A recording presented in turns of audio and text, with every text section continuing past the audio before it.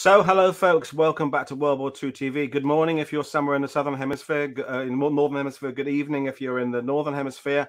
Uh, double bill for you today, and this show, in fact, is the first half of uh, a two-part set. So, Nigel Askey is going to be back with me tomorrow at the same time for the second part. So, one of the things I'm very proud about about World War II TV is the variety of shows we present you. Sometimes they're very human driven stories about individuals who served in the war, who were lost in the war. We've talked about the kind of the darker side of things, the atrocities, the the um, the murders, the Japanese running rife in various places in the Pacific and Singapore. And other times we look at how history is um, uh, achieved, how history is created, the analysis, the research. And today's show kind of falls into that category, although it does overlap other things as well. Nigel, my guest, um, has spent an incredible amount of time producing just an insane amount of information about Operation Barbarossa, uh, data driven about the losses, the vehicles, the movements. There's a whole incredible series of books. The links to his website are in the description below. Um, I urge you to go there. There is lots of information on the website, and of course, there are the books to purchase themselves. So, if you are new to World War II TV, and again, lots of new viewers over the last few days, welcome aboard. Thanks very much for joining us today. But I'm going to bring in my guest, Nigel Askey. So, um, good evening where you are, Nigel. How are you today? Paul, how are you going? I'm very well. So, I kind of gave the, the hint uh, in in this. You know, you, you, it's a lot and a lot, a lot of data. And when you're looking at something like the Eastern Front, it, you know, um, it's easy to say, but it's a massive campaign involving two armies at various points were very very far away from their their headquarters are very far away from the kind of people who are were uh, uh, assimilating and creating data. What when where did your interest in world war ii start is the is the first part of the question. The second is where did you start moving into becoming interested in getting this this precise uh, uh, information about the losses? Well my interest started i guess my family um, we had various members of my family served in the war. Um, probably the most prestigious or the most illustrious was actually a guy called Ken Roberts, my my mother's mother's half brother. He served in the original 22nd, the original first SAS regiment when it was formed in uh, North Africa. So, you know, we heard some stories about that, and um, he was killed unfortunately in France in 1944. Um, but uh, as I grew older, I really liked uh, the idea of uh, I got into modeling and then into wargaming, and then I went to university to do a degree in physics, um, and then I started to really focus on uh, data analysis in my professional life. Um, you know, analyzing data, see how data, what you can do to to draw conclusions from data, um, and then yeah, I I started um, realizing that all the history books I was reading on World War II were very qualitative based. So I thought, well, what if what if I start to use a more of a quantitative approach to to history? Um, and I thought, well, you know, I'll look at. I was always fascinated by the East Front because very early on it became clear that the center of gravity of World War II was it was the East Front, yeah. um, and and although I think the British in America realized that to a large extent, uh, with you know with the aid they gave the Soviets, the the war and the losses and, and so on was was to a large extent decided you know on that front. So and then of course there was you know the the um, the sheer scale of it, and I thought well if I can apply quantitative analysis to the, the biggest land campaign ever, then you know you can apply it to anything. So mm. I guess that's kind of where it came from.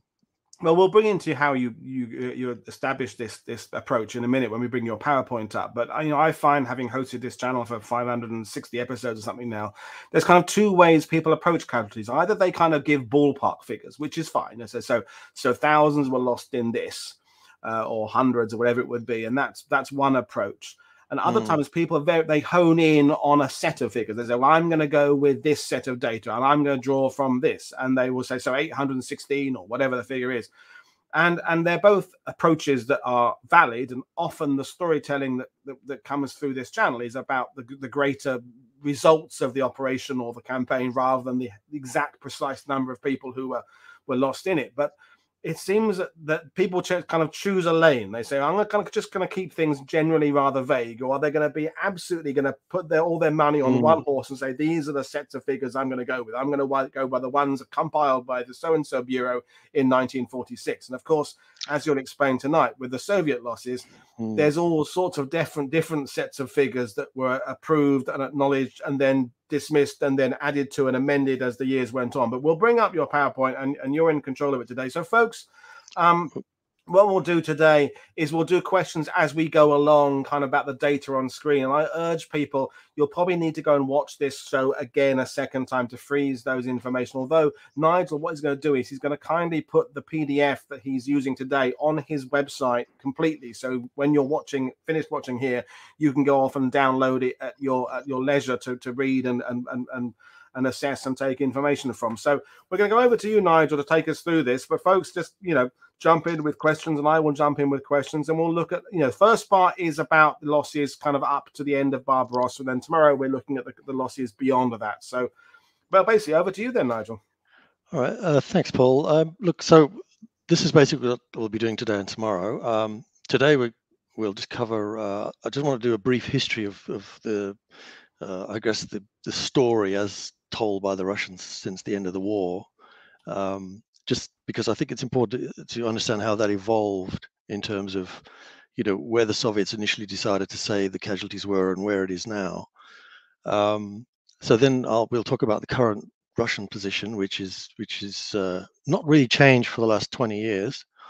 Um, and then um, we'll look at some inconsistencies in that in that story um, because the way data works is if one data stream doesn't match another, you know there's there's usually a problem.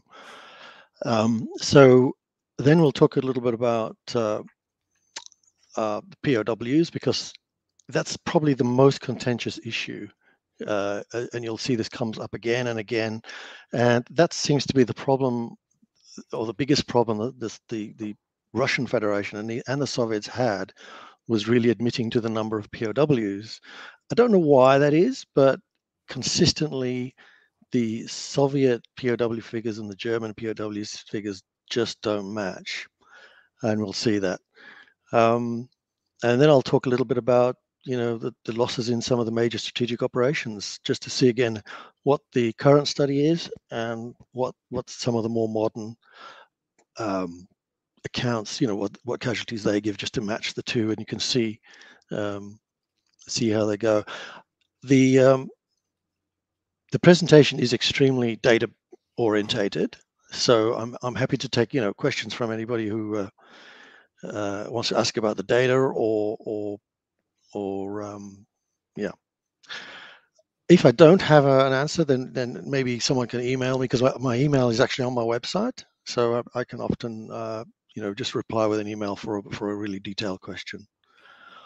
So anyway, uh, I thought I'd just start with Churchill's quote, uh, which was, you know, that Russia was really a riddle wrapped in a mystery, inside an enigma. Everybody's people have probably heard that quote, um, and I, I think we, when we look at Soviet casualties, that this, this is quite an apt description, especially mm. with POWs, as you'll see, the way they wrapped that MIAs and uh, losses who are not accounted for, and the, the, whole story is a real mishmash of of different bits of data that the Russians have used. So we'll be using the German data to try to get a proper picture.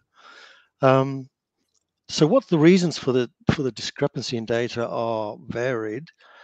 Um, for the Russians, there are really uh, the main source for the Russian official study is is combat reports from headquarters and um, and army and uh, army and uh, front headquarter commands. Um, there's also medical records, and the third one is the Russian Federation files, the TSAMO individual files, which is currently sitting in the Russian Federation, um, and they basically are not used for the Russian, the official Russian history. They, uh, the official Russian history, if you like, uses the the uh, combat reports only, and there are problems with that. So these different methodologies do result in different values. So for example, uh, medical reports have much higher values of people who are unfit and sick and so on, whereas the front reports tend to kind of ignore that. Um, so that's that's a bit of a problem. And just a question about terminology, Nigel. Uh, in in the eighty years since World War II, have the students of this kind of information from across the world kind of had an agreement about the common use of terms because you know for example yeah. i'm a normandy guy and you know, a lot of the um the, the missing that were then recovered as bodies if they've been missing a certain number of times the date on their gravestone is two days often after the date they reported missing so for example you get you know you just you get people who appear to have died when there wasn't a campaign happening, but because that was the system that was being used at the time. So, in, in, you know, you must know other data analysis, and I can't say the word now, data people around the world. Is there an agreement on terminology now? Because obviously the nations uh, weren't working on exactly the same systems of when they define a missing, when they define, you know, wounded, all those terms know, ca- casualty well, itself is such a is a word that means yeah. different things. I, different I would contexts. say I would say no. Actually, there's not really an agreement. I think on the next slide, I will actually um, talk a little bit about important terms definitions. Right. Um, so I would say that there there is uh, agreement at this level, but agreeing on when a when a casualty becomes irrecoverable is not necessarily agreed. I think um, for the purpose of this study, and I think World War II generally and, and, and military history, this is kind of the accepted term in, in modern military operations research. Right. So when we talk about um, military operational or recoverable losses, uh, really we're talking about a casualty that is removed from the from the war. So it doesn't necessarily mean they're killed. They could be they could be killed, obviously, but they, if they're a POW, generally speaking, they're then an irrecoverable loss. So if someone who's MIA permanently becomes an irrecoverable loss, um, if the person is severely wounded but is still alive, they are not called an irrecoverable loss, they, but they, they might be a demographic um, irrecoverable loss later if they die. So, so basically, as far as this is concerned, we're going to say that anybody is killed or died of wounds um, or was executed for any reason, basically a death, or if they're missing in action, but and a lot of soldiers went missing in action, never to be found, as you know. Mm. Um, that was very common, and um, it was even more common on the Eastern Front. Yeah. So they are irrecoverable losses. Um, now, th- there's a bit of a, a, thing here, whereas if if a country surrenders, um, then all the POWs then become strategic losses. So they're not really counted then as military operational recoverable losses. So, for example, if when when France surrendered, you know, you, you can't then say, well, the entire French army that existed became a, a military operational recoverable loss because the war effectively ended at that point. So, uh, POWs really the way to think of it is is that military operational irrecoverable losses only occur right up to the end of the war or the end of the uh, the actual um, the event you're examining. Now, demographic irrecoverable losses, uh, they're basically those servicemen who return home um, from captivity after the war. So, for example, a POW is a military operational irrecoverable loss, but they then return to their home country after the war, so they're not a permanent loss to the country. But if they die, they are a demographic irrecoverable loss. So, a lot of civilians who died, for example, you know they're not military but they are demographic losses. Um, if for example an mia person becomes you know is, is then found then obviously they they um, will stop being a demographic irrecoverable loss. Now the recoverable losses obviously includes anybody who's wounded um, personal made unfit from you know due to sickness and so on but a large proportion, usually um, about 30% of wounded become uh, uh, are not able to return to military service. Right. That's a general a general rule of thumb. The U.S. Army conducted a study actually during the war, um, and they they found that around a third of U.S. casualties pretty much were so seriously injured they they um, could no longer um, return to military service. Right. About a third were short term, they could return fairly quickly, and about a, roughly a third uh, could return to military service, but often went to second line units or you know rear area functions, that type right. of thing. Uh, we'll talk a little bit more later on about you know people getting wounded multiple times on the Russian front because uh, that is that is a factor, but it's not actually a major factor in, in reducing the overall losses. So I just want to start with a, a, a brief history of, of, of the story. Um, so most of the Cold War period, uh, the uh, the Russian archives were classified. Um, straight off, I have to say the NKVD archives, even today, are still classified. They have never been opened to the public fully. The, NK, the NKVD and their losses and their whole the whole war history of the NKVD is very shady even now, um, especially areas like blocking detachments, um, you know, punishment battalions, mm-hmm. that type of thing. Um, I've sketched together quite a bit of data on the NKVD forces that were in the field, but very little is known about you know their losses, um, how they functioned, and but very little you know about the internal security apparatus in in the, in the Soviet Union. I have in the slide later on. I will talk a bit about them. Um, so um, the uh, the only there was only two periods really. There was a time under I think it was Brezhnev where the, the files, the archives were reasonably well opened, and then when Gorbachev uh, came uh, came along with uh, uh, Perestroika and Glasnost, they were open for about ten years to quite a lot of Western scholars. So most of the current books about the East Front, um, a lot of the data that's that's used came from that period. Um, Anyway, so for example, this report, the first classified report by Colonel Podolsky, um, was one of those files that was released uh, when the archives were open. And this is the earliest report I could find of a, of a serious study um, of Russian casualties after the war. So it was done by Colonel Podolsky, who was um, in the department chief of directorate for accounting, control, and so on, numerical strength. He produced this report for Stalin and, and the Politburo. Um, and it wasn't bad in, in some ways. His um, his wounded is actually quite accurate. It's not bad. To, later we'll see the number of wounded. The area that he's really weak on though is is the MIAs and POWs, and you'll find you'll see that this is repeated over and over again because this. So what he's basically saying, the overall number of captured is around two million, and then they've thrown a million into MIA, and we find that the MIA are often POWs, you know.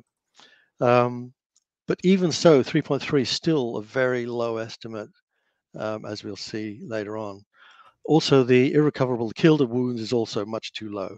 But nevertheless, considering that that he was functioning, Podolsky was functioning at a time when Russian generals still had to be very careful that they weren't seen as too defeatist mm. in in the Soviet Union, because and, and you've always got to bear in mind this when you think about Russian generals and what they were doing is um, every Russian general was probably more afraid of Stalin than the Germans, which is a funny thing to say. Um, but he, you know, he he he could have a general removed even in 1945, 46 uh, if he didn't want him. To. And even Zhukov after the war, who who was uh, you know, the hero of the Soviet Union, was treated quite poorly by Stalin after the war. Um, obviously, the the uh, the great purges in the in the you know the mid 30s, where around 30,000 Red Army officers were were liquidated or removed into gulags and so on, was still still there, and everybody remembered that. So. Podolsky produced this report, and actually, considering uh, that he was uh, living in that environment it wasn't bad. Anyway, Stalin just ignored that, and in 1946 he publicly declared that the USSR had lost seven million uh, during the war. So you know, basically there bears no resemblance to to the military casualties. And of course, people then said, well, seven million in the war, that's about you know half of them would be military, so that's about three and a half million military casualties, which of course is less than the Germans lost. So you know that's that's pretty much set the ball rolling for the for the um, for the story, if you like. And when we're in an environment, you know, when when we're talking, for example, about British losses, is that the Battle of Britain, for example, if everybody who lived in Kent and Sussex and and Essex that they were kind of aware of what was going because the battlefield is kind of right above them with the Eastern Yeah, Front. yeah. So many of these campaigns are fought so far away from massive populations that it was very easy for to, to the general public and certainly people outside of the Soviet Union, Americans and Brits, to have any idea of the losses on the Eastern Front. You know, the Germans themselves, how many Germans came back, you know, fr- from the prisoner of war camps and to be able to explain what was going on. So it was very easy for Stalin to just kind of say that figure and and kind of no one really be able to question it. Well, I think people are just terrified of Stalin. Yeah, and terrified as Um, well. Yeah. and so nobody was going to disagree with him. Um, but obviously, you know, uh, I mean, the, the, the, the, sad part about the whole story is, of course, that uh, the West had to rely on, on German sources. So that's why a lot of views about the war became so German centric. yeah. Uh, you know, in the 50s and the 60s. Um, so because they were relying on German memoirs, and of course, all the German generals who survived went out to, you know, produce their memoirs to put their account in, and and and everybody read those avidly because really the the Eastern Front was a was just a huge, mi- you know, mystery. yeah. Um, yeah, yeah. So, and I think that that that continued right up until the end of the you know the 80s even. Um, people were very focused on on the East Front. They really had to look at the German stuff. Um, and some of the German stuff was excellent and remains excellent, uh, but and some of it, of course, is is uh, is, is is unrealistic. So the Soviets didn't help their case if by by keeping all this secret. Um, so this was something uh, classified. So even in '46, they were starting to get a handle on on the total losses, um, and they were using terms like you know uh, the Nazis exterminated this number of civilians and and, and so on. Um, now, just just to really reinforce this, um, if, if there was any country that needed a census, it was the Soviet Union, or any you know country that uh, really needed to know how much damage had been done, because they were they had been devastated. The Soviet Union was devastated, and so the planned census in '49 was was cancelled by by Stalin. We can only assume he didn't want the, the truth to come out. I mean, this is this is I can't think of any other reason it- you know you would cancel a census four years after the war um, and in fact it wasn't until 1959 uh, almost six years after stalin died that the soviet union conducted a census and tomorrow when we do um, demographic losses of civilians we'll get a handle on on what what that showed Mhm. um, and how the military casualties fitted in with with the total population of the soviet union um, We just got a question for you before I want to put it up before we move on too far from Ian Carr, regular viewer.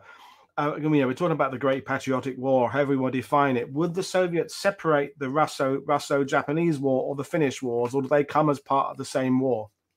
no i think they would separate those yeah Right. Um, Okay. Yeah, the um, the in the figures they've separated them. So um, the Finnish War was was a war of aggression. I don't think they can call that a patriotic war. Right. Yeah. Yeah. yeah. Um, and yeah, the losses in Manchuria were really small. I have actually, you'll see the losses uh, come up uh, in that war, and they they weren't they weren't very much at all. The the Japanese army was was totally outclassed, um, and all their best troops had already been withdrawn to the Pacific. So uh, that was a very short short campaign. But strictly speaking, no. I think uh, they might include the uh, the Japanese component as part of the Great Patriotic War, so only because it was attached directly to um, you know uh, the end of the war in Europe. But um, yeah, I would say I would say the Great Patriotic War, war really is, is about the defeat of Nazi Germany. Okay. Um, no problem. yeah. Well, moving back to the presentation. Um, so anyway, uh, Khrushchev then denounced uh, Stalin and promptly announced that around 20 million people had died in the war. Just, you know, so suddenly we've gone from 7 million to 20 million, which I think everybody in the West kind of knew, but it was nice to hear someone say it. Um, and then Brezhnev came along in 64. And oh, dur- during the Khrushchev period, uh, actually, the, the, the archives were reasonably well uh, open to a little, to, to some extent. So a lot of the information that that went into uh, some of the history books by you know like John Erickson, you know his books on um, uh, the road to uh, to Stalingrad and so on. He used a lot of information from that period. So th- they did actually um, get some access to some of the archives in that period. But then Khrushchev came, uh, sorry, Leonid Brezhnev came along after Khrushchev died, and um, he was un- unhappy about the uh, the narrative being conducted in the West. So you got again, you know, the Cold War was was was was was going on at that time. Any excuse to uh, to not paint the, uh, the, the Soviet Union in a bad light, and I guess Khrushchev was was was more uh, sensitive to that. So we went back to the old days where the archives was, were, were closed, and only people from you know with special permission from the academy or the Frunze Military Academy and the General Staff Academy were, were allowed access. And of course, they never published anything in the West. Um, and then the two um, successive leaders, Andropov, Cherenkov, pretty much didn't change that. They, archives were very limited. Our knowledge was very limited. Again, we're still relying on main, mainly German sources. And then along comes Gorbachev with his perestroika movement, um, which was, uh, I think, restructuring, it was called. Perestroika was more restructuring the economy. And then Glasnost was these openness policies, which were to, you know, uh, open up the society. But also that meant the archives did open up to a very significant degree. The NKVD archives were still closed. A lot of military archives were still closed but a lot of stuff came out, which um, probably has formed a lot of the the basis for a lot of the books in you yeah. know the 1990s 2000s that's kind of the anthony beevor um, and onwards kind of era isn't it yeah and i think david glantz's books you rely yeah, on a lot yeah, of files from from this period um, the problem was that gorbachev a lot of sensationalist things were then were coming out. You know, the, the Soviets lost 40 million or 50 million, and and so on. And and uh, you know, I think the Red Army was painted in a very bad light. So so uh, the Soviets uh, decided they really needed a concise, formal study of the whole the whole casualty story of the of the war. So um, in 1988, uh, Gareev um, uh, was, was, I suppose, ordered to to start work on a um, a study. Um, he uh, he based his work. That's right on uh, on a previous study team under uh, General Shtemenko from 6668. Um, so he was ordered by the Politburo to come up with a study, and he had to do it very quickly. So he actually went back to this study in 66, 68, which was then classified at that time, and he produced a um, memorandum of works, I suppose, or, or, a small study, which was presented uh, to the the Politburo in December 88. Um, now, the interesting thing about this memorandum was the final figures for irrecoverable and uh, demographic irrecoverable losses don't change much from now. So this this the figures we'll look at in a moment started in 1988 and really haven't changed that much. Um, nevertheless, Gorbachev and the Politburo were not happy about releasing it yet. So in February 89, it was classified as secret. So it, it wasn't a complete work then. It was, but it, it was pretty in depth, but it was still classified. Um, and then in May 1990, um, Gorbachev announced um, that the war had claimed 27 million Soviet lives. So, so that was the first, probably real statement where the real numbers were coming through from the war. Um, and then the following day, because Gorbachev had announced this, he announced this this figure here of 11 point uh, 444 million irrecoverable losses and 8,000, eh, sorry, 8.7 million demographic losses. So those two numbers are important because even today, those two numbers are pretty much where the Russian Federation sits.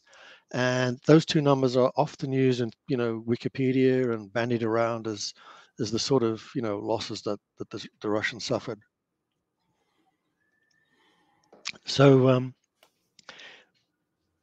as you can see, they they go back to to the 88 memorandum. So um, the Politburo wasn't happy with with that, so they then commissioned um, uh, further studies to be, you know, clarify details of the casualties, and they ordered the, uh, you know, the, the, state committee, the statistics committee, Ministry of Defence, Academy of Science, and so on, to do a, a much more detailed study. And this work was really um, still classified in in in in '93 when it, it, was eventually assembled as a complete work under the uh, auspices of this guy, General Krivosheev. And so Krivosheev um, is now the name, if you like. So when I talk about the Krivosheev study, I'm referring now to this very large study. It's uh, so it comes now in a book. You can you can uh, right. get it in Russian. It's 600 pages. It's very comprehensive. Um, oh, and um, shall I start again? yeah, sure. Yeah, yeah. Let's do that. So that's the current version published in 2001. Um, and it's still even though even though all the further research had been done by you know the the uh, these various illustrious groups, they still came up with this these two numbers. So there's a bit of reverse engineering going on, quite a bit actually, as we'll see. But anyway, that's that's the status of uh, of the play in 2001, and um, most current books on Barbarossa and on the war in the East use data from this Krivosheev study, including Glantz, including Stahel, including other well-known authors.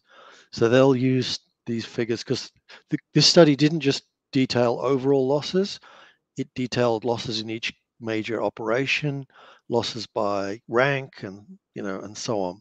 So it was it was an extremely comprehensive study.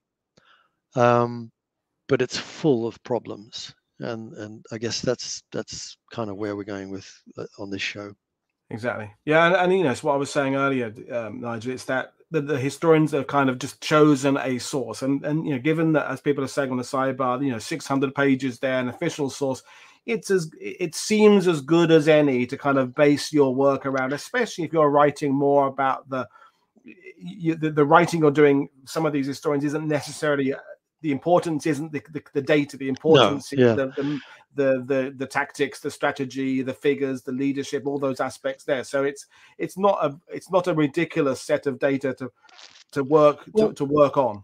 No indeed. And and and the the the, the, the paradox of the Krivosheev study is that it actually has some really good information like right. which seems to be very accurate. And then in other areas it's just rubbish. so it's right, it's okay. it's it's a really complicated book because, uh, for example, um, as we'll look later on, the, the figures for the Battle of Smolensk, for example, are, are ludicrously low. Um, the figures for POWs are ludicrously low. But then there are other battles like uh, the, you know, the, the, Battle of Kursk and, and the later war battles, the mid period, the 42, 43 ones, are the data for those is actually not bad at all. Um, so it's you know the, the, and then it has other part the other it's got other data for example on medical casualties and then the people have they haven't cross-referenced the medical casualties with with the uh, front losses. So you get these oh there's the medical casualties. That's really you know that's really valuable information. So it's it's full of really valuable information. Anybody who's fascinated by this subject should buy buy the uh, the english version which is this one here. So this is the english uh, version because getting through the Russian version is a nightmare. So the English version is is is not fully up to date though. It's it's basically um, was published in 1993, so it doesn't have all the the the information in the 2001 Russian version, but all the military stuff hasn't changed. All the right. all the all the uh, um, figures for all the campaigns hasn't changed. And again, you'd think between two, between 93 and 2001, with with with all the work done, that they would have actually updated that, but they didn't. And again, it's it's um, uh, it kind of makes you think, well, there's bound to have been a lot more information that's come out in those 10 in 10 years, but not one single additional casualty has been added to the to the list. So. It also comes neither from who who wants the information for why. I mean, we talk about it a lot on on World War II TV. Is you know, us British, for example, we're we're still obsessed by the Battle of Britain. We're still obsessed by the Battle of Market Garden. So there's a constant drive of people to get more information, to to, to pull out more flight records and archives and yeah, that. And yeah. I guess it's is the interest there in this in the former Soviet Union to do this work? Is that you know because yes, most... uh, well, um, look, I think I think most of the really great work that's come out in the last 10, uh, 10 years has been Russian scholars. Right. Uh, uh, they're the ones who've, and some of the work that, I, that I've, the figures I'll be using are, are, from the Russians. So in fact, Russians are the ones who actually have now had access to some of these archives and actually produced the real, uh, you know, the real numbers, if you like. Okay. And they, they, they, to a, to a man, all have all criticized the Krivosheev study. Um, so it's it's a real it's an interesting um, it's an interesting situation. Yeah. Right. So uh, this is this is uh, getting into the nitty gritty of it now. So this is uh, basically the master table, if you like, for um, for the uh, for the Russians. I just want to call up a few notes I made on this. Um,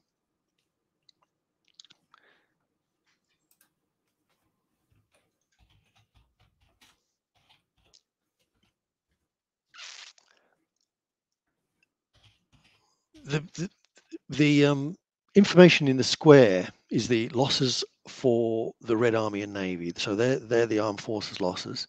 Um, the border troops, internal service troops, is is jargon for NKVD personnel. Right. Um, so a lot of a lot of the uh, the border troops were NKVD border regiments. Internal service troops were you know railroad security troops, uh, troops guarding major facilities and so on, so on, who got caught up in the war. Um, and but also later on we'll look at there were a lot of tactical NKVD units who also went into the battle, and their losses were definitely higher than shown here. Um, so obviously they're saying you know. Uh, 6.8 million were uh, killed or died. Um, and then they've got this very large missing in action figure, uh, MIAs and POWs. And then they've got this very mysterious, unrecorded casualties from the first months of the war. Um, and you'll see that come up again and again. And here we have this number 4.559 million as the total uh, military operational aircraft losses. So, uh, sorry, the uh, missing in action. So when you add that to the 6.8 um, who were killed or died, you get this this figure here, 11.44. So 11 and a half million is really what they're saying is the military lost that number in the war, um, who were removed, if you like, from the ability to to uh, to maintain uh, themselves in the war, and they were gone.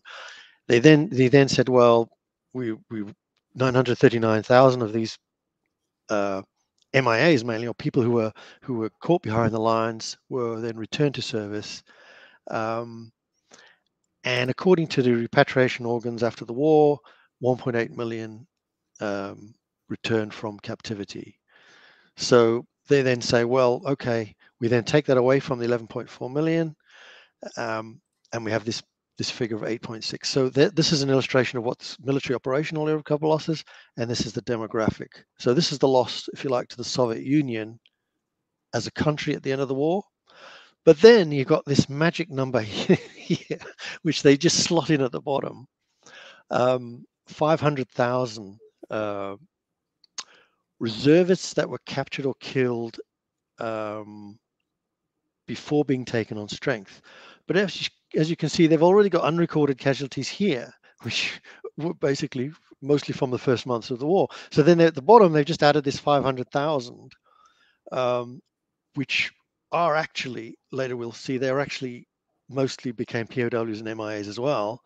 So they actually should be thrown into the to the uh, to the total military operational irrecoverable losses category. So it's you're starting to see how they they um, classify certain things uh, in certain ways to, to get the numbers to this this number of 1144. Now you've got to remember this number 1144. This was the number in the 1988 memorandum, in the 1990 presentation, and has never changed. So they've got to get to that number. so that they're starting with the figure and then working backwards from it. Well, yeah. I'm, I, you know, it's, it's become it's very apparent that that's what they've done here. Um, so that actually makes the book annoyingly difficult to to get through because you keep coming up with these these figures, you know, these numbers for MIAs and MIAs that you know were found after the war, and then some of them died, and it's like so it it becomes difficult to um to, to, to you know to track this. But the number the number to take from here is this 11.4 and uh, this demographic loss here and this these 500,000 who will come up you know again so this is table one is actually very important because um, it you know it, it keeps it a lot of the a lot of the end results if you like of all the russian work seems to come back to this this magic table which is just not how data should work. But anyway that's that's this is an important table and we probably have to come back to it at some point. Right so this is um this is now the uh, expansion. If you see that box there, the Red Army and Navy, yep. this 11285, this is the detailed Red Army and Navy losses, which excludes the NKVD. Now, the, the first thing that strikes you is, apart from, oh my God, there's a lot of figures, is how could they possibly have known to the individual man that the losses in you know 1941 were were, were exactly that. Of course, they couldn't possibly. Um, so when Krivosheev was asked about this at a conference, he actually said, "Well, we didn't we didn't round the figures because the figures are based strictly on reports from the army and front HQs, and we've just summed up the the, the casualties and um, produced produced the number. So what I've done here is I haven't rounded the numbers in any way. I've just said this is this is the um, you know the numbers as presented in the study. Um, so these are irrecoverable losses here. They include all the ones who've been killed and died.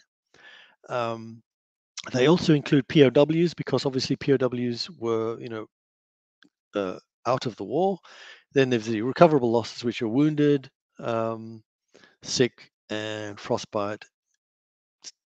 Sick and frostbite really should go together, but um, they've you know they've done that.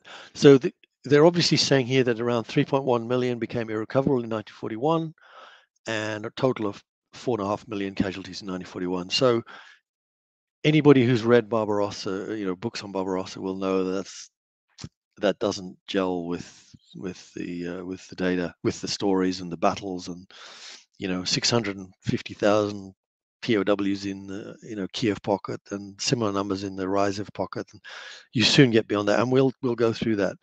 So there's a couple of other things I just wanted to point out here, um, and I hope everybody can see these numbers.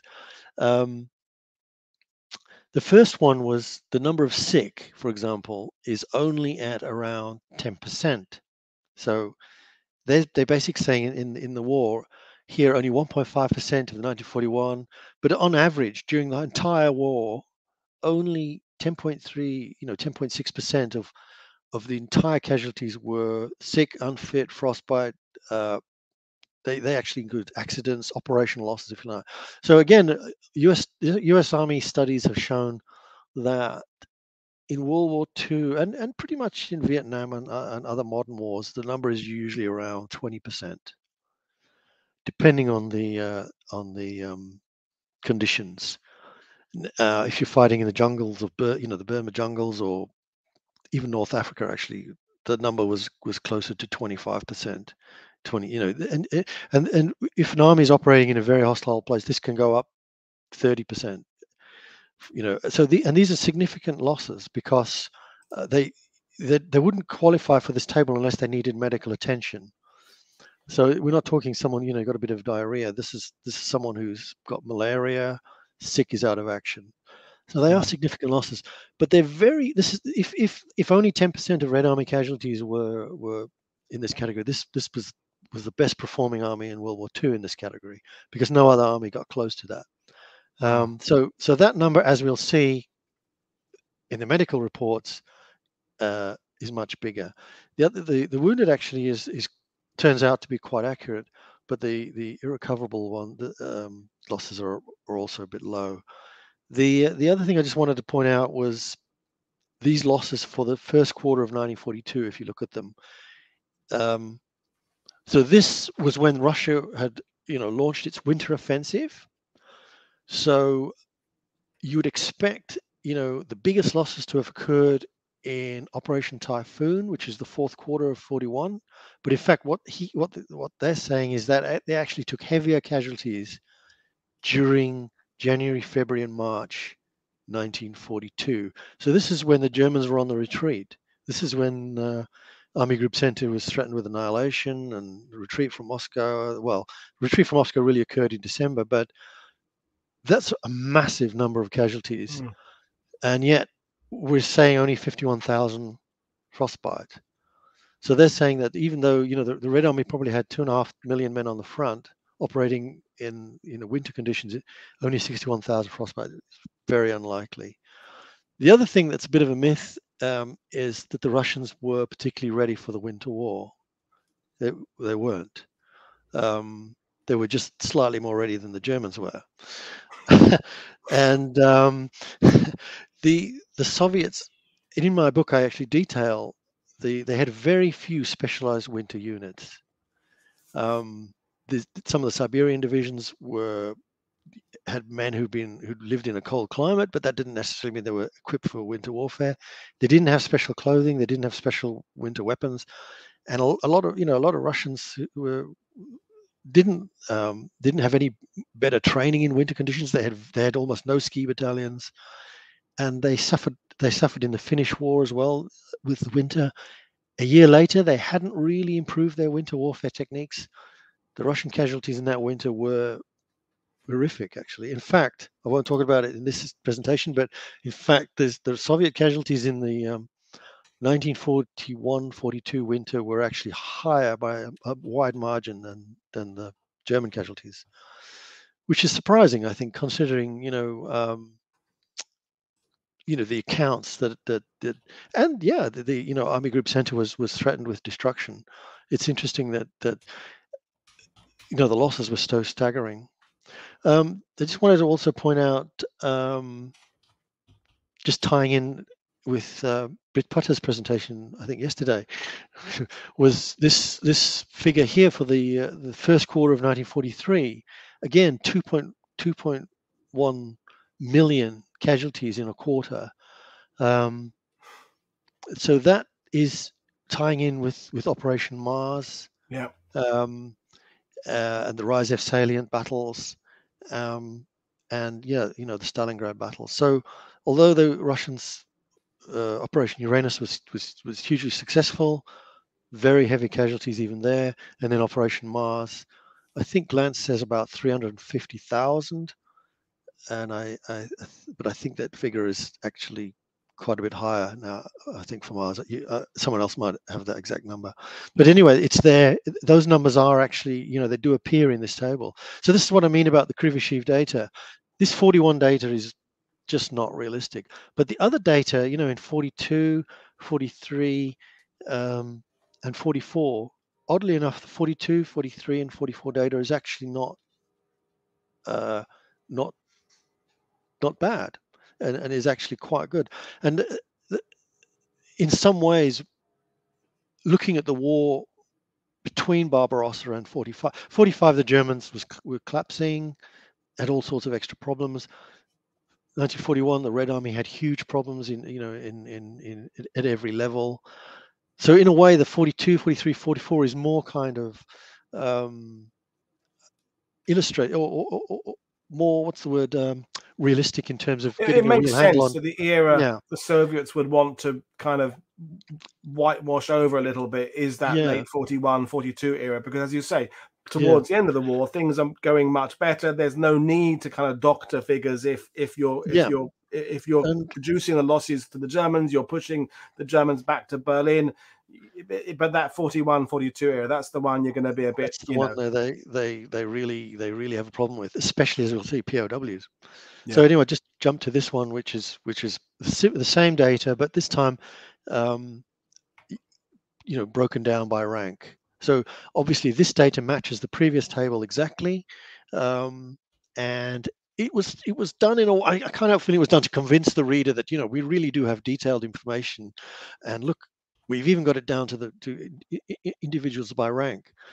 But what what these two tables don't tell you um, is the fact that there were a lot of reports never arrived. So a lot of report like in 1941 and 42, you know, a Soviet officer on the front line. We need a report on casualties. Well, he's you know he's busy fighting a war. He's oh roughly 300, whatever. That, you know he's not going to count how many men he's lost. And then the other thing we find later on is that in the encircling battle, battles of 41 and and and even ones in 42 is is entire army HQs were wiped out, and all the reports went with them. And those reports don't exist. So when that occurred, Krivosheev admitted that they basically just left them out. They just said, "Oh well, we we only we've only put in the reports we've got," and so basically they you know they come up with this number, and if the Eighth Army was wiped out and it lost 100,000 men, but the report never arrived. Well, it just it's just not added. And that's an interesting I, way of using the data, um, isn't it? We haven't got it, so we're not going to put it in at all. Uh, as opposed know, to formulating like, some kind of guess of there were X number of men there, none have come back, so we can assume that Y was the casualty. Just just ignoring them is an odd way of going about. It is an odd way of going, but and, and the, the thing is that in other parts of the Krivosheev study, they you know you see that they have actually gone to a bit of effort to to to do that. So it's it's very strange how they they have, it's not a uniform. Um, what's the word negativity right across it if you like you know right. so this is why this, the the Krivosheev study is actually still used and it has a lot of validity but um, you've really got to you've really got to be careful when you use the numbers from it. So um, this is really just to give the viewer an idea of you know what we're talking about in terms of the scale here. So so this is basically um, daily losses. So this is you know this is per day. So as you can see, you know you're talking sixteen thousand a day, and this is the this is the official Russian position. So this is not we've still got we've still got to get to the bad news if you like. So so you know if, you, if you're in if you're uh, uh, you know you're in a war where you're losing 16,000 men irrecoverably that's not wounded. That's the entire division per day. Wow. You know yeah so in 1942 it got a bit better. It was just half a division. And uh, so you know but but what's interesting here is that in in 42 43 44 um with 42 the russians were struggling you know the germans were you know things were pretty much even and it could have gone either way. But 43 44 the russians were on the winning side you know the at an operation level they had the operational advantage. The germans were putting push back pretty much everywhere still taking you know six to to 5000 casualties a day deaths or POWs a day. And of course, even in 1945, it actually went up, which is interesting. Maybe, and that's probably the desperate nature of the of the fighting. Yeah, it's that the, the wounded um, animal aspect of the Germans holding on, isn't it? Yeah, that makes sense. And there was also Stalin. Stalin was determined that they would reach Berlin before the Americans. Yeah, um, oh yeah. The, the, the even even though even though yeah. because he didn't trust the uh, he didn't trust the Allies at Casablanca uh, at the Casablanca conference, it was agreed, pretty formally, in fact, that that the uh, the Americans and British would not uh, take Berlin, and they would allow the Red Army to take Berlin. That was actually uh, the agreement. Stalin didn't trust them, but actually in 1945. Um, and other people will know more about this than I do, but there's real evidence the Americans could have could have moved much faster to, to Berlin. Mm, oh, definitely. Um, yeah, yeah, yeah. Yeah, it was, it, yeah. Was a, it was a policy decision to just yeah to to, to, to slow um, down. But in the meantime, the Red Army was was pushing very hard. Um, and then if we go to the next one, we we're looking at you know we're including the um, total casualties. Um, so so yeah, in 41 you're losing 23,000 a day. Um, sick, as I say, very low. Nobody's worrying about sick people in the Red Army in 1941. They don't live long enough, I guess. um, and you, as you can see, the the the, the number of uh, the number of deaths is far you know higher than the number of wounded, and we, we do see this this sort of pattern here of um, the number of um, if you go to the previous slide, the number of POWs is very high and then drops But in the next slide, it's the opposite. The POWs is small, and you know, it, the number of wounded is you know shoots up. But the, the total losses at the back, you can see, in terms of loss rates in 1941, it was comparable to 1945. The difference here, of course, is that these are POWs and MIAs. Here, they're wounded. Mm. So the, the you know the Red Army was taking very heavy casualties right up to the end of the war. And right tomorrow we'll finish on a couple of slides which just show you what sort of casualties they took in in the last you know seven or eight months of the war. I just had to thank you, Nigel, for presenting it in this very visual way because I think you know we've done a lot of shows about the Eastern Front. We've talked about the evolution of tactics and strategy and and technology and things like. But there's something about seeing it in this very easy to understand data point of view that, that that conclusions can be drawn from. It's really really fascinating. So thank thank you for taking the time. Um, yeah, so I just thought I'd finish. So this is because the other ones were all not rounded. I just wanted to finish on this one, which just shows.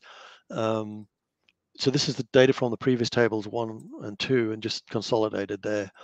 So it's taken out the sick because we're really interested in if we're interested in combat, we, we don't want to focus too much on the sick and, uh, and un, sick, unfit, and um, uh, frostbite. We just wanted to focus on killed, wounded um, POWs.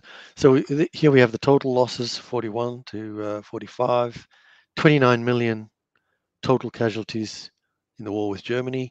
Someone asked about the campaign in the East. Um, so that's that's the, the, the figure for uh, defeating the Japanese in in uh, 45, total of um, 36,000, um, 12,000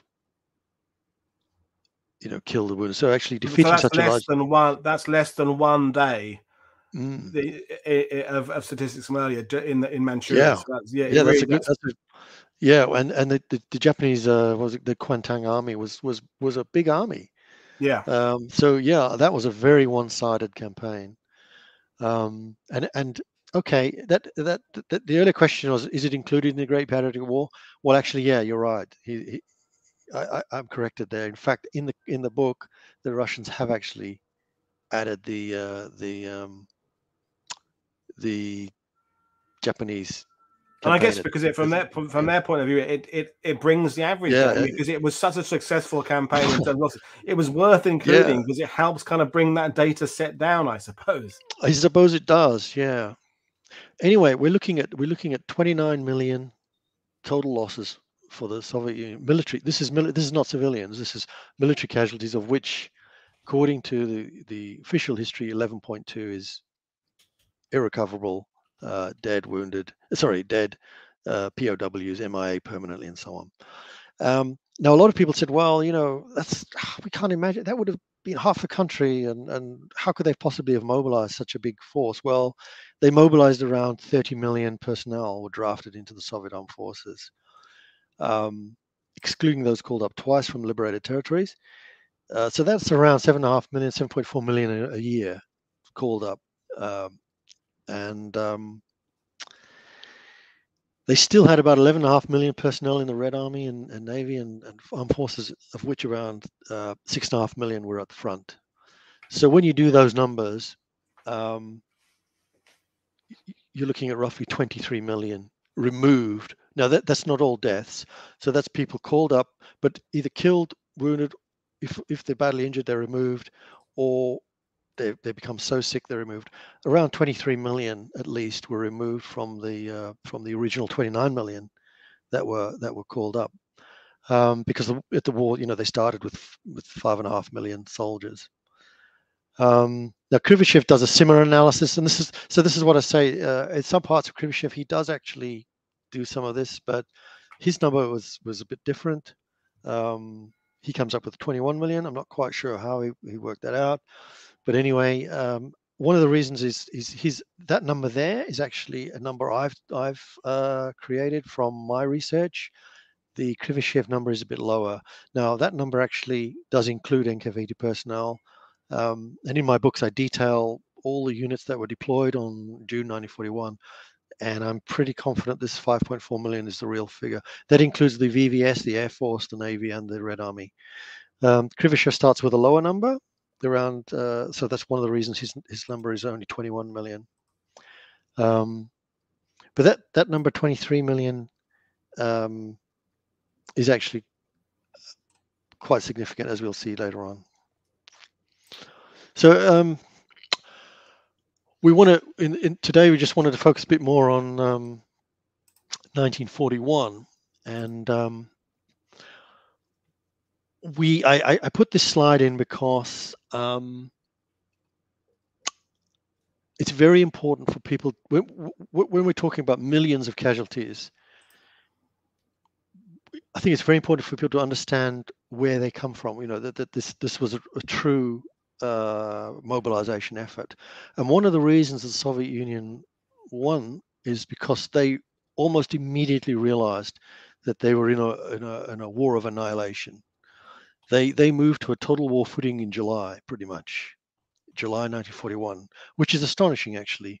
In, while Hitler and the German High Command were, you know, yeah, we're going to knock the Soviet Union out by the end of 1941. We, you know, we, the German industry hadn't even fully mobilized by to, to a large extent, and um, they were even uh, talking about disbanding some of the German divisions because they were, you know, they, they, their army was too big. but the, the Soviets knew immediately that this was a, you know, this war was gonna was gonna be a war of annihilation, and that that is an absolute war, if you like. Now, they then they then mobilized um, 11.79 million men in 1941. So this this is the biggest, fastest mobilization that has ever been carried out in human history. No other countries even got close to mobilizing this number of men into armed forces with rifles or you know and then pushing them into the front line as fast as the soviets did in 1941 and barbarossa was this this terrible race, if you like, between what was unquestionably the best army in the world at that time and the ability of the Soviets to to um, to mobilize the country and defend defend themselves and put an army in the field that was capable of you know of, of, of, at least matching them in some way. And it was this the germans would sort of you had the same number of germans pretty much killing um, you know more and more russian soldiers over and over if you like. Tomorrow we'll look at some of the German losses, but um, pretty much it was this grotesque race between between the two, and so I've put in here the numbers so people can see this. So they start the war with five and a half million. Um, now, of that, around four million were allocated to combat uh, capable units, what what are, what are called deployed D units, and around uh, one and a half million in rear area support. That's that's quite a low tail. Uh, 75% in in combat units is is high. Yeah, very so high. Yeah. West Western Western armies are much much bigger uh, tails than that. Um, now, th- some of these combat units were barely combat worthy, I have to say. Um, so, okay, the tail probably is closer to maybe uh, 35%, but even that's not not a lot. Um, so the the the, the Russians mobilized 7.9, 11.9 um, million, but something happened around, as we've already mentioned in the table one, around 500,000 of those um, never reached the units. Yeah. So it's it's important to understand what was happening here. Before the war, the Soviets had a mobilization plan. It was called MP40 and then MP41. So MP41 was in place in the in the Soviet Union the Soviet Union, you know, they, they weren't completely asleep. They knew they were probably going to go to war with Germany eventually. They were hoping it would be 1942 at the earliest. But the plan was for as soon as war occurred, the reservists in the uh, western part of the USSR would be called up and they would bring the rifle divisions up to full strength. So most of the rifle divisions in the western military districts were, were, were either six or eight strength, which means they had a roughly six or 8,000 men. The TOE strength was around uh, 14. They called it the 12 strength. Um, so the idea was these divisions were equipment heavy. They had the they had the guns. They had the you know a lot of the trucks. They had a lot of the uh, heavy equipment. The reservists would be called up. They'd bring them up to full strength, and they would then be you know big heavy divisions using the pre-war TOE or SHAT structure. That the Germans moved so fast that that just never happened. Uh, all the three border battles were pretty much a disaster. The, the border battles in um, uh, this, the uh, against Western Front were the worst. The Bialystok Minsk pocket, around uh, 500,000 men. They probably had uniforms. They may or may not have been armed, but they were they were caught up in these pockets. I mean, these so, kind of figures, Nigel, they, know, they really illustrate how in 1941 it's it's not just two armies meeting; it's two armies with radically different solutions to the problem. You know, the, the German is sort of tech heavy; they've got a better tail. the doctrine is there, they're in place, the communications, the the fire orders, the structure, the combined arms aspect of it, and the yeah. Russians at this point is just kind of throwing in numbers and kind of hoping for the best, which is kind of the old cliched view of looking at it. But in 41, well, that's what the data's sort of telling us, isn't it? I, it, it is, but but actually, it's it's um, if you just say that it's it's um, perhaps not totally fair to the to the Red Army because in my book uh, on the the one I did a couple of years ago, I spent pretty much the whole book on this mobilization of the Red right. Army, and it was caught in a transition because what had happened was obviously you had the purges, but also they they they after the, the, Spanish Civil War, they they disbanded all their tank divisions, for example, and then after the Germans, you know, invaded France, the Red Army suddenly, oh my God, the, combined arms tank division is the way to go. So they then went and built, you know, 64 um, or 61 tank divisions. so so but those those tank divisions were in a transitionary state. They they hadn't yet had time to come back to to to you know uh, to get the uh, the tank infantry regiment working together. They hadn't they hadn't quite got the you know the trucks in them. So of those 61 tank divisions, maybe only 20 were really combat worthy. The other 40 were really you know brand new units that that barely had they, they had a lot of tanks but they were often very old tanks. They, you know, the, they had the Russians had 23,000 tanks, but so that's why they had 61 tank divisions. But um, any number of the tanks were not operational, or they could, you know, they could go 50 kilometers and they break down. They didn't have any logistical tail. So it, it, wasn't that the Soviets were incompetent. It was, it was they were caught. They'd been, they, they, they, the incompetence was really in the weeks and months before, or the years before, when they really should have been getting ready in a different way but um, they got caught by the German the German attack, and um, they were. There's a lot of evidence Stalin was gearing up to have his army ready by mid 1942, and I, I, talk about that in my books because you can see the way the, the divisions were structured. That um, you know they were they were basically starting to go on field maneuvers. They were starting to get ready, but but when they when the Germans attacked in June, a lot of these forces were were not at full strength. Um, and even though they had a mobilization plan, they, you know, they, they just did, they just didn't have time to, to, to get it to, to work. Um, and the other thing about the Soviets is they had planned their defense. They planned an echelon defense. So they they planned the the divisions in the frontier to be the first line of defense, and then the Stavka Reserve, which was about 618,000, I think, in 41. That was actually meant to be the uh, the counter, the initial counterattack force, and then they had the strategic reserve. So they were thinking in echelon defenses. But this idea was that the the mobilization would get the Western forces up to full strength within within weeks. You know, within. So that was that was impressive. They expected them to last at least a couple of weeks. they didn't even last that. They did. You know, they the German the uh, the, the, the Panzer Group uh, uh, two and three in, in, in against Western Front. This went straight through this the the frontier all the way to uh, west of Minsk, uh, and pretty much only in the south, uh, southwestern front did you know did did southwestern front manage to to really produce a battle, which was touch and go there for the Germans for a while, even in June and July.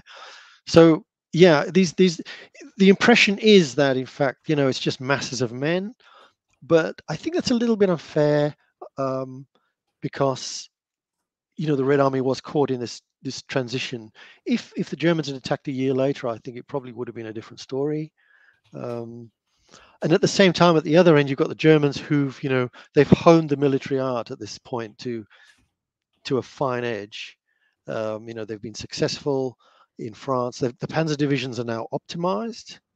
They were actually tank heavy in France. Mm-hmm they're now optimized with the maximum, with the best tank infantry combination. Um, something the British are not going to figure out for quite a while yet, I have to say. uh, you might disagree with that, but anyway. No, I agree. Uh, no, no other army had quite sorted that out yet. Um, so, you know, the Germans had, you know, you got the finely edged tool on one end, and the, the and the Red Army much bigger um, at the other, but but not ready. Anyway, um, so the Russians actually over mobilized. They actually they actually called up more men than they, they could use. They actually had to send 300,000 back to the factories because they were they were more valuable as tool makers and weapon makers and in the military. So again, that's that shows you how panicky they were. Um, so roughly 300,000 went back, and seven they couldn't they just didn't have the weapons to give to the to give these guys. So actually, the, the biggest break on the Russian uh, Soviet the Soviet mobilization wasn't actually lack of manpower. Um, it was lack of equipment.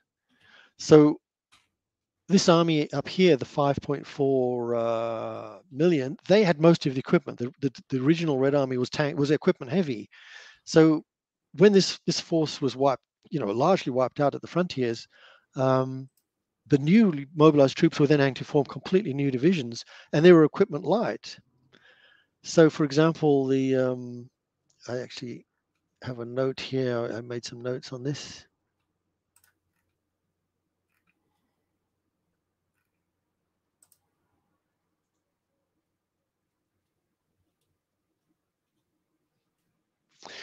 The uh, the pre-war rifle divisions had a, a strength of 14, um, about 14,500 men, and they had two two artillery regiments, um, a light, and they had they had I think 64, 76 to 152 millimeter um, guns. Now the new rifle divisions formed after July. They only they only had about 10,900 men. They only had one light artillery regiment um, and they only had a handful of anti-tank guns. Whereas these the pre-war ones had 54 anti-tank guns. The other thing is the the um, the new rifle divisions only had um, half the light machine guns of the pre-war divisions. So you can see that that they really were equipment light. The the new divisions. So this this 700,000 basically they had nowhere to go. So they pretty much went into civilian militia units um, and only about 10.2 million actually went into, to the armed forces or were available to the armed forces. That's still a huge number. I mean, that's a massive number of of um, you know troops to to get into the field um, in six months. Um, and this this was sort of the way it went. Around 5.1 million went into new units or to rebuild.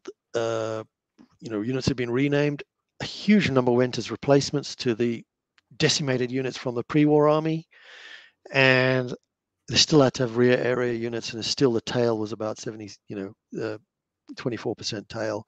So still a light tail. Hmm. Um, and then I just put the numbers here at the beginning of the war. They had 303 divisions.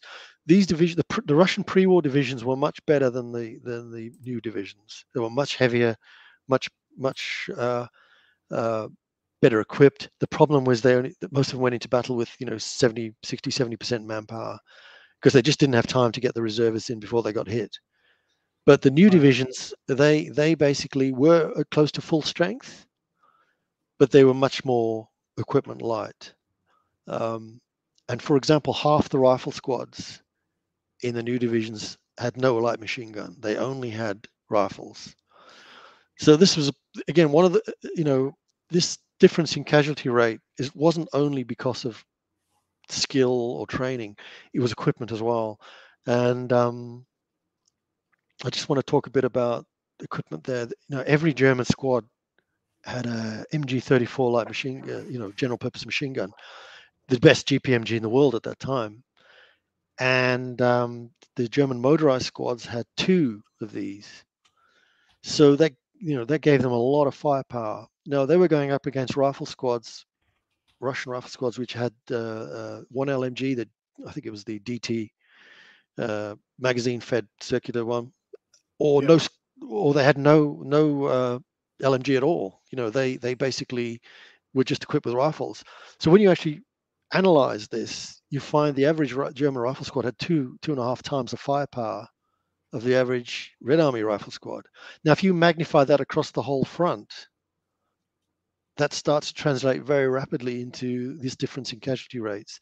Even and, if and, the, and the fact the yeah. lack of tail, I think, is influencing yeah. that as well. I mean, we're talking yeah, yeah. yesterday the, the inability in 41, 42 for the Soviets to exploit an advantage because they they haven't yeah. got the troops behind to bring up supplies and bring up stuff and replace people and get parts for weapons that need them and more ammunition. It's a you know we talk about in Normandy the big war the Allies were able to bear bring to bear in '44 the Americans out in the Pacific. is because the tail is tail huge. I think, I think it's 70 or 80 percent the tail in the Pacific. Yes, something like that. It's enormous. You know, and and the um you know the divisional slice as they call it for american divisions was was was huge yeah you know uh they had more more men in the tail, if you like, than the, in the combat units.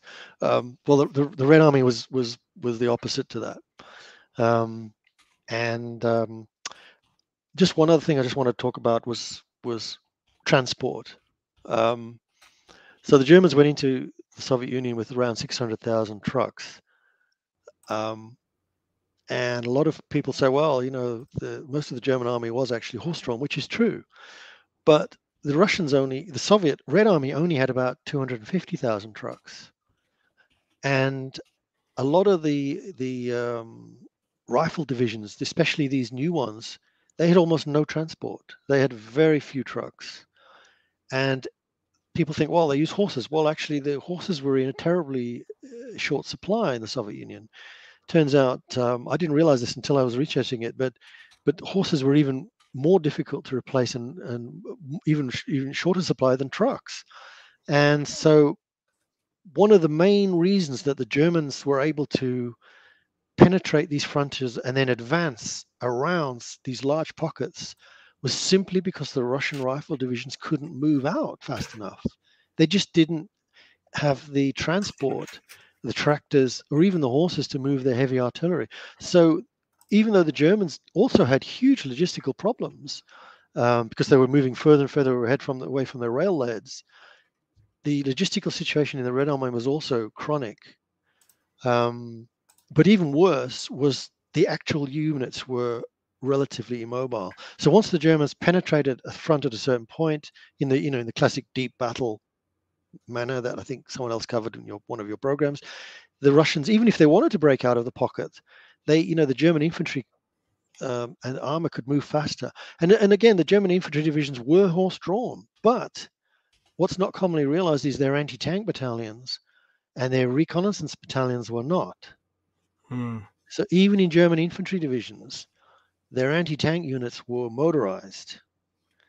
So they pushed their these units you know often often german infantry divisions would be splitting where you know the infantry would, would be on foot or behind the the more motorized elements um, and um, obviously the panzer motorized divisions were fully motorized but but and, and all, the other thing of course is, is the german corps units like the heavy artillery units. The, these are the units that were not assigned to divisions they were they were assigned to the corps level. They were motorized. They were they were pretty much using the german half track vehicles or trucks. And generally speaking, uh, most, not all of them, but most of the corps units, the heavy artillery, the rocket artillery regiment, those sort of thing, the all the German flak units, for example, um, the Luftwaffe. Very early on, the Germans knew that you know the 88 was the answer to heavy tanks.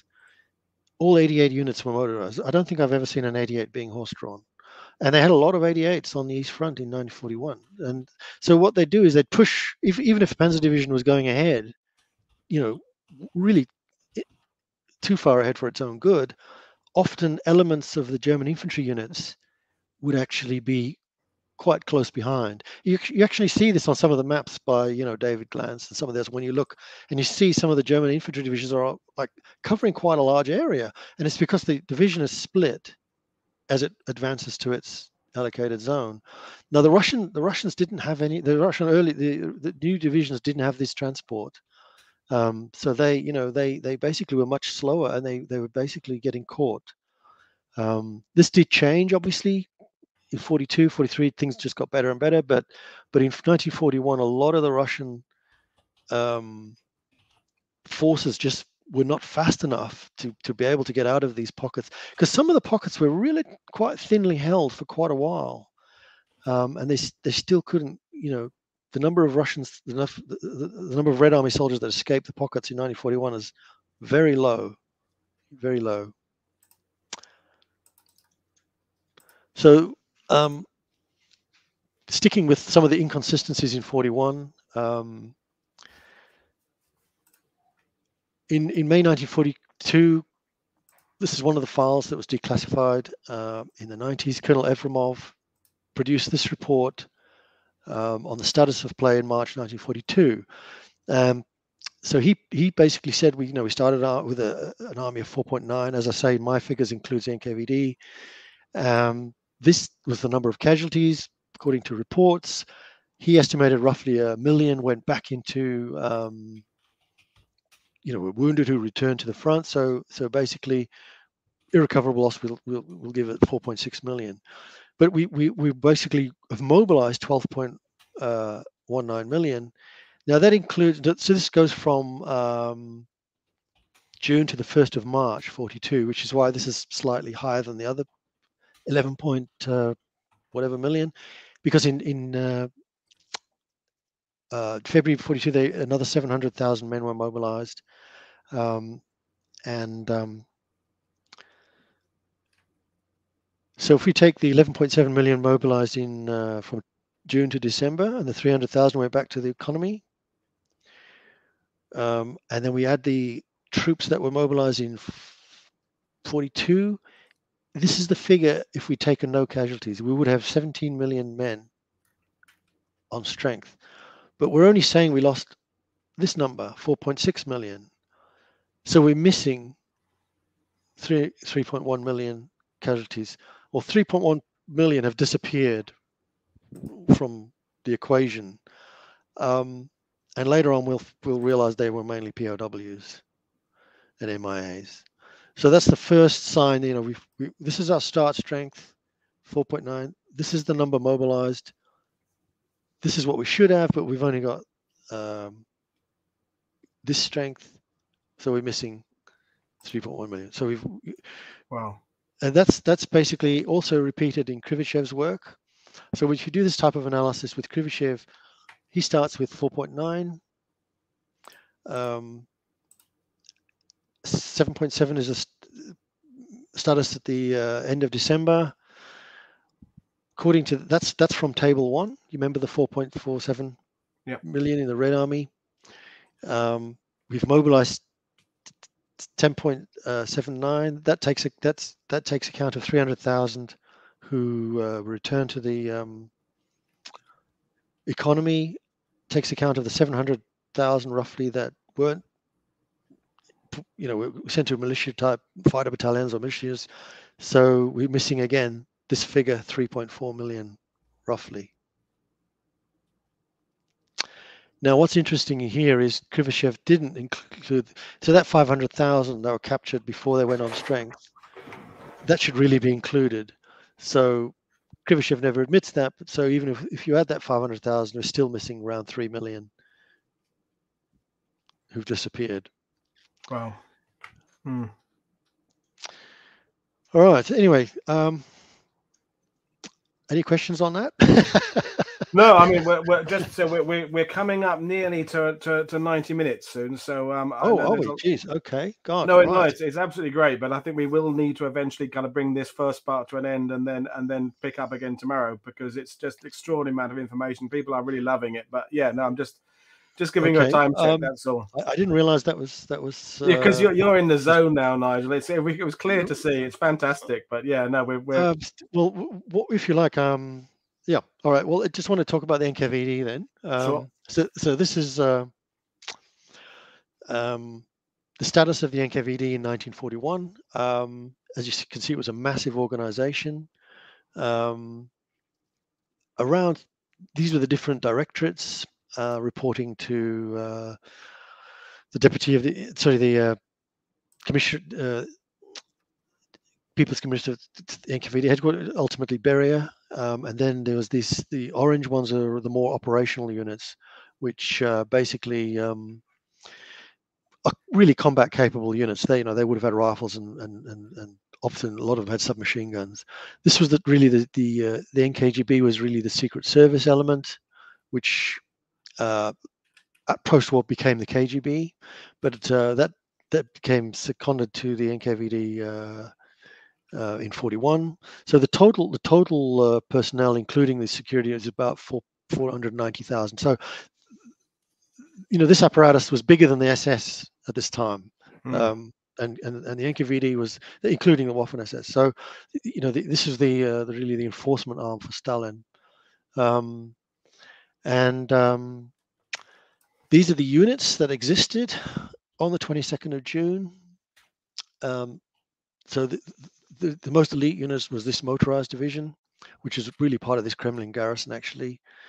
Um, the, the famous uh, political officers embedded in the army, or is this? There really wasn't that many. There's only around 22,000. of them. They were they were actually the political officers at the various levels in the Red Army to make sure they you know conform to the um, the political directives of the time.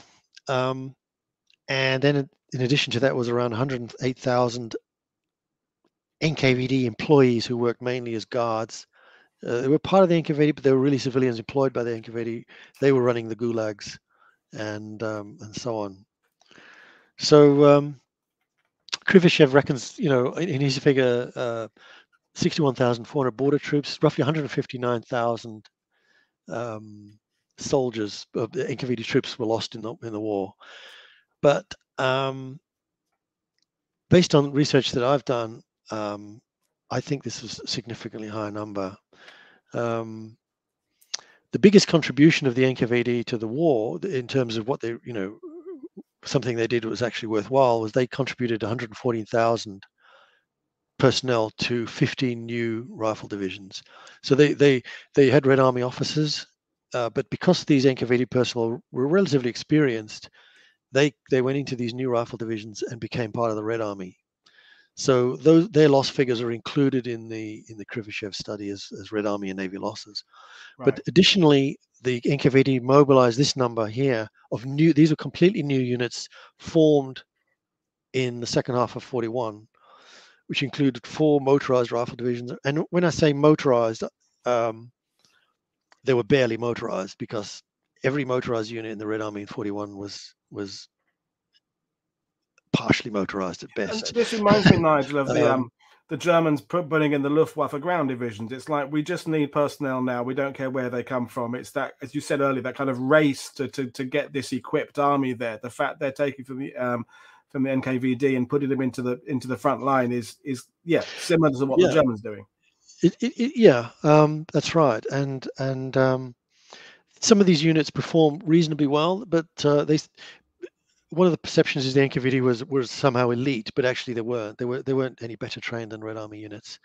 Um, they were maybe more motivated, perhaps more politically motivated, but uh, they performed reasonably well. But but pretty much in a, in a similar level. Anyway, based on the um, in my book, I've actually written a couple of chapters on the NKVD. Based on the individual unit histories, I'm I'm I estimated the losses at least at 140k in 1941. So that's around uh, you know 90% of Krivosheev's entire war figure. So again, the NKVD mm-hmm. losses.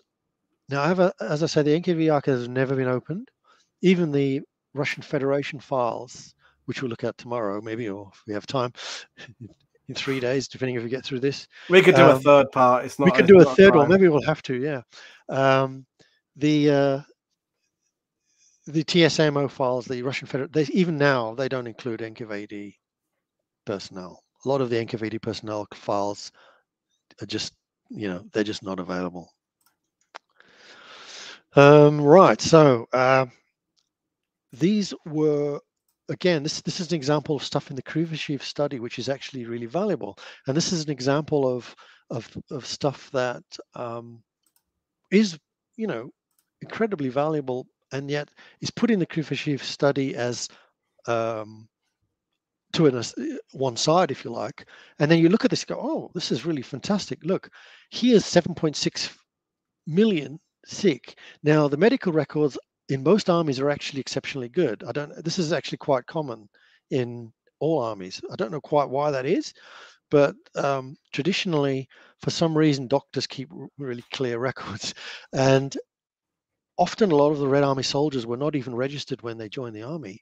But as soon as they get wounded, the paper trail starts. You know, this is uh, he's got a bullet, you know, wound in the shoulder. We write a form, and, and you know, where's he from? Where's he going? So those records start. So actually, medical records are actually astonishingly, um, you know, astonishingly good, and often better than front reports because because the um, the uh, uh, yeah, because front reports can disappear, but but often the uh, medical reports get sent back early and and they get consolidated at the end of the war. Now look at the difference between this figure, 7.6, and the previous figure, which was I think 2.5 or something.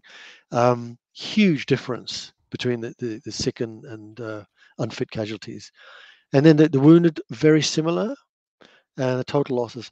And then we've got this this wounded multiple times. Now this is this is uh, interesting because I've been, you know, people say, oh, well, you know, wounded, uh, you're counting casualties multiple times because uh, a lot of them are, are, are, repeats, and and that's true. And here are the figures for um, for the Red Army, um, and as you can see, uh, not many of them. Some of them were wounded seven times, which is pretty impressive, I have to say. but really, if you count all the wounded, um, you're looking at you know a total of three million. Now we're we're talking 30 million casualties in in in uh, Soviet armed forces in on the East Front in World War II. So you're really looking at 10 percent. Um, and if if uh, yeah, wounded is reduced from 15 to 12, that's a 20 percent reduction. Total losses 10 percent. So you know it's it's uh, in military operations research, double count is not considered a problem. It's it's it's almost ignored, and the reason is because it's it's you, you never get double counting in a in a short campaign because people get wounded by the time they come back. That particular campaign is over it's or battle's over. Yeah. So it's it, but so we're talking you know over the whole period of the war. So then it can be an issue, but even then it's not it's not uh, you know it doesn't really shift the figures that much. And if you're using casualty figures to do combat type proficiency analysis, you know, relative one force to the other, then of course both armies have double counting. So it effectively cancels out. Um, the other thing about double counting is that it's directly proportional to the quality of the medical services. So the, the Russian medical services weren't that crash hot in 41, 42. The, the, the field armies were, were minimal. Both the German uh, and uh, Western armies had better medical facilities than the Red Army. So you're more likely to get multiple wounded in those armies because you're more likely to die of a wound in the Red Army, to put it bluntly. That and that would explain as well uh, the, the the difference between the the number for killed and the number for wounded, because as the Allies, you know, the Western Allies progress in World War II, the number of wounds increases, but the number of deaths drops because more people who would have previously died in combat are now being able to pat, be patched up and recover because the, the system to recover them and, and, and, and the triage and all that is, is getting better and better. So it explain it, it's yep. understandable yep. why the figure is it's a, a, bigger gap in the Soviet um, data. Yes, yeah, that's a good point. So um, I was wondering, should, should we should we leave the POWs till tomorrow? Uh, if you like, yeah, I'm, I'm very there's, happy there's to. quite a few uh, slides on the POWs there. I mean, bring it to a conclusion yep. after Wounded, and then if you're happy to come back on Thursday as well, we can just split the whole thing down to three shows, and and then not. If that's yeah, okay if you, with you. If, if you'd like to do that, um, I can do that. Yeah, I'm sorry I've talked so much.